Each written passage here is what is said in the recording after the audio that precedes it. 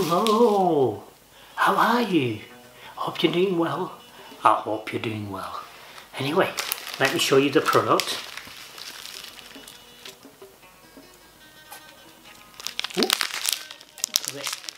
There we are. That's the product. And uh, this is the introduction.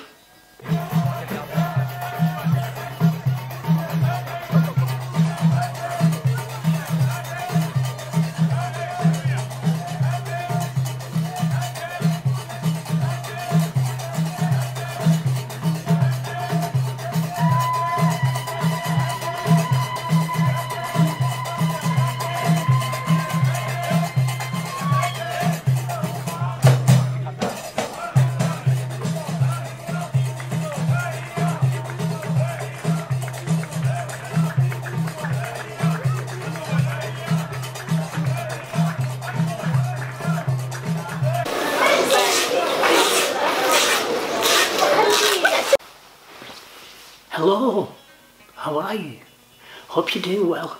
I hope you're doing well. So guess what? Go on, have a guess. Another product from Morocco. Winor. The product's by a brand called Winor. Now, I've searched a little bit on the internet about this product. Unfortunately, can't find much. Can't find much apart from the fact they have got Facebook, they are out there just not posting much for me to comment, understand, find out more. Anyway, so it's uh, the Winor, Cinco. That's a, that's a Brock Cinco. Uh, what it is is five. So it's, it's all in French, um, but it's uh, apparently five uh, chocolate sticks. That's what it is. Chocolate sticks. Is it halal?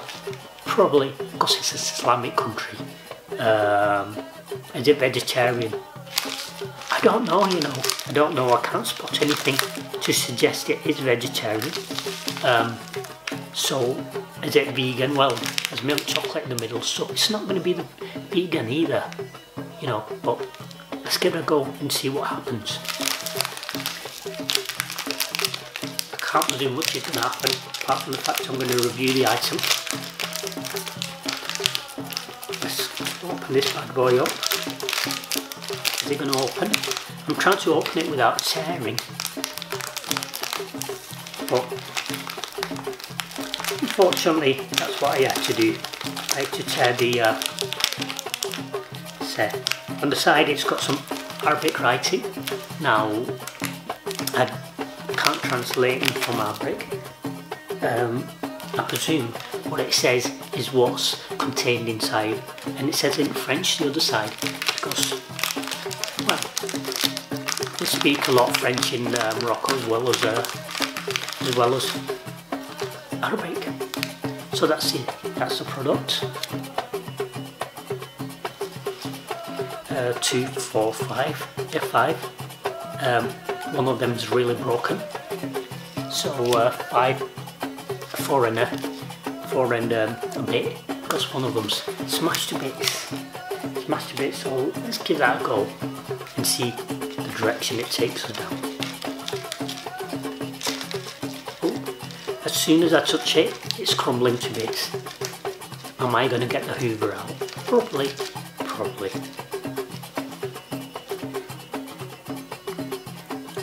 Yes, so I could taste that chocolate straight away. That's because I pulled a piece of chocolate out to taste it. So I taste that chocolate straight away. It's a street, it's a street, it's not street, it's sweet. It's a street one. Um, you know, can't really taste the cocoa. I can to a certain extent, but the dominating taste is probably sugar, and that's the centre of it.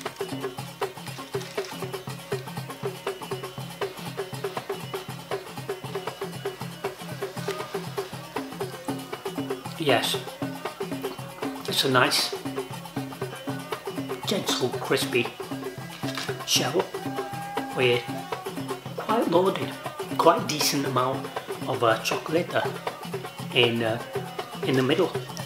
So you have that burst of chocolate.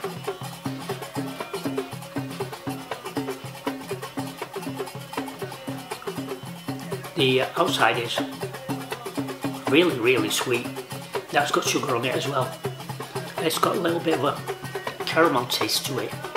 I don't know if that's right, whether they've got caramel, but for me it feels like it's got a caramel taste to it.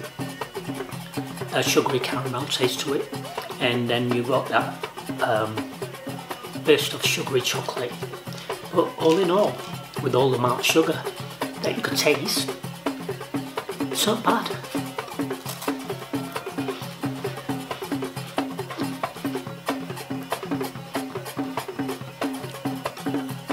Not bad.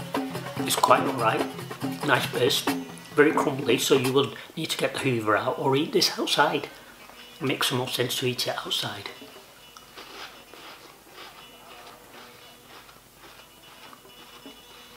Yeah, the flavour coming through.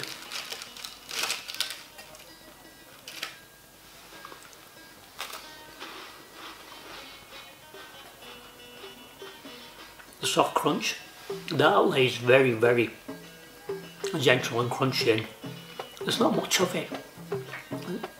It's basically just to hold the chocolate together.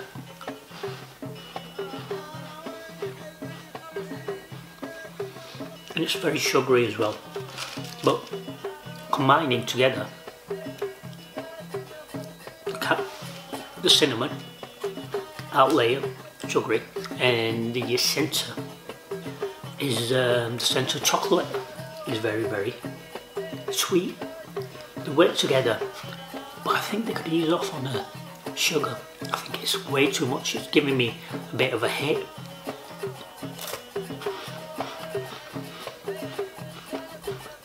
As nice as I could taste, taste that, I feel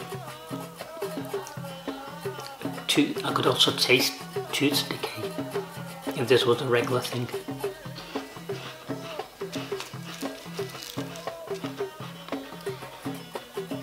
The first one was best in the chocolate, absolutely. The other four, not so much. Um, decent amount, a decent amount, but not enough. Well, not as much, sorry, it was enough, but not as much as the first one. Dominating taste, even though it has chocolate in it, is the sugar.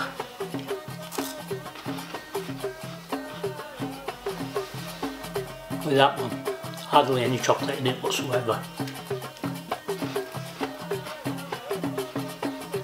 Yeah, I'm not feeling the chocolate there whatsoever. So, what was it like? As you can tell, really crumbly.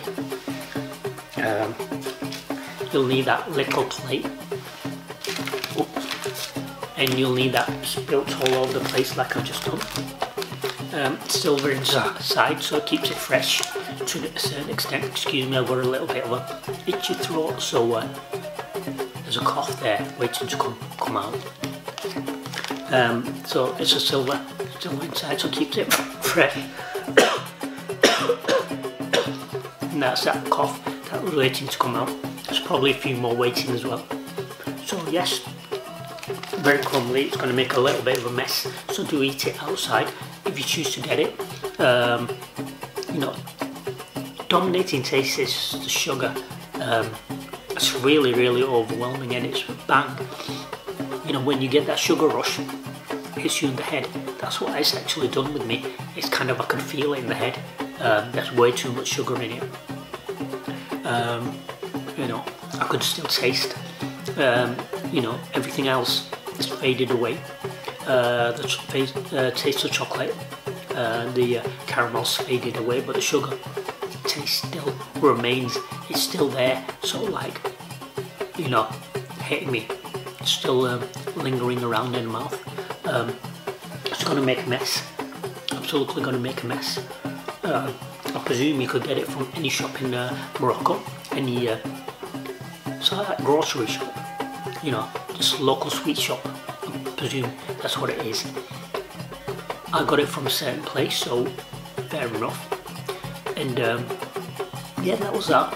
So, finish off by saying subscribe, like, share, comment, and uh, let me know if you want uh, me to travel more videos that are popping up around, you know, rather than videos of uh, me sitting in a sitting in a place. But of course, as the numbers go up, as the income comes in, I'll be able to travel more and uh, make videos that I'm out and about, out and about. That sugar's still hitting me.